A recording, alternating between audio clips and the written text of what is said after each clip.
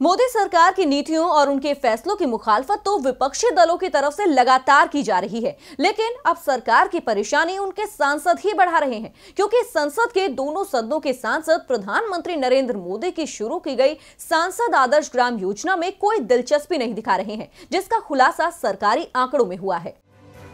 साल 2014 में जब भारतीय जनता पार्टी सत्ता में आई थी तो पीएम मोदी ने लाल किले की प्राचीर से अपने पहले संबोधन में स्वतंत्रता दिवस पर राष्ट्र निर्माण के लिए सांसद आदर्श ग्राम योजना की घोषणा की थी, जिसमें लोकसभा सांसदों से गुजारिश की गई थी कि साल 2016 तक अपने या अपने क्षेत्र के एक गाँव को एक आदर्श गाँव बनाए।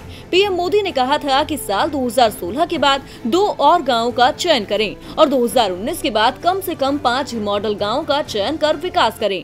उन्होंने उन्होंने राज्यसभा सांसदों से भी कहा था कि वो किसी एक गाँव को गोद लें, लेकिन पीएम मोदी की अपील उनके सांसदों को ही रास नहीं आई, क्योंकि योजना शुरू होने के पाँच साल बाद भी सरकारी आंकड़े बताते हैं कि सांसदों को इस योजना में दिलचस्पी नहीं रही। मौजूदा संसद के दो तिहाई ऐसी ज़्यादा सांसदों ने योजना के चौथे चरण में अभी तक किसी भी ग्राम पंचायत का चयन नहीं किया है।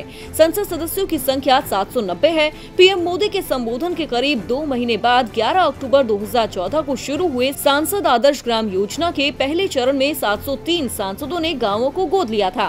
दूसरे चरण में ये संख्या घटकर चार रह गई। तीसरे चरण में 301 सांसदों ने गाँवों को विकसित करने के लिए गोद लिया।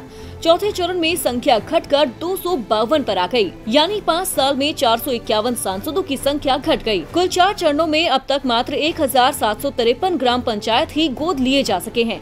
केंद्रीय ग्रामीण विकास मंत्रालय की वेबसाइट पर मौजूद आंकड़ों के मुताबिक, दिसंबर 2019 के आखिर तक दो सौ बावन सांसदों ने चौथे चरण में सांसद आदर्श ग्राम योजना के तहत ग्राम पंचायतों को गोद लिया है।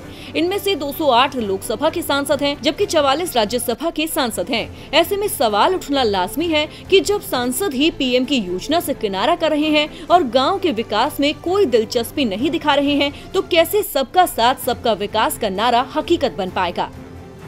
डीबी लाइव की रिपोर्ट।